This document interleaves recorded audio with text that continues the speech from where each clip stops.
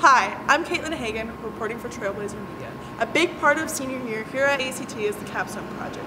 Each student has a project that involves their efforts in the community, working in their career focus, advancing their education, or gaining experience into something new.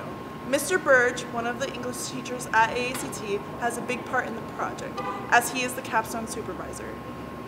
As capstone supervisor, I present um, the capstone project to all the seniors in their English classes, and then I kind of help coordinate their projects, their documentation of their projects for their portfolios, and kind of work with all of their different advisors throughout the school to make sure that the capstone project is coming together. Capstone is important to the seniors as a grade and an opportunity for jobs after high school. Most seniors are looking for a way to kind of start their life after high school, and I think it can be really, really scary to leave high school and have not started what comes next.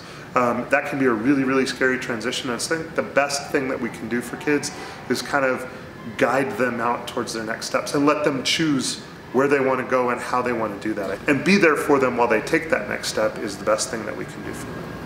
Not only is Mr. Burge involved, but students Trey Anderson and Madison Biggs have stepped up as capstone coordinators to help everyone make the process easier. Um, so our duties as a capstone coordinator is to set up all of our community partners to come in and watch our capstone presentations because at the end of the year we present our portfolios and our PowerPoints to teachers and community partners in order for you to make connections and there's been jobs that have came out of this so we mostly set that up but also help students if they need help in making sure that they stay on track.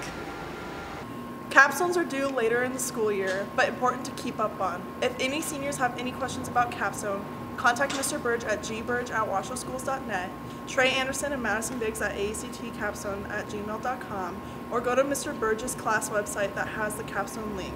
We wish you all good luck on your projects. This is Caitlin Hagan reporting for Trailblazer Media.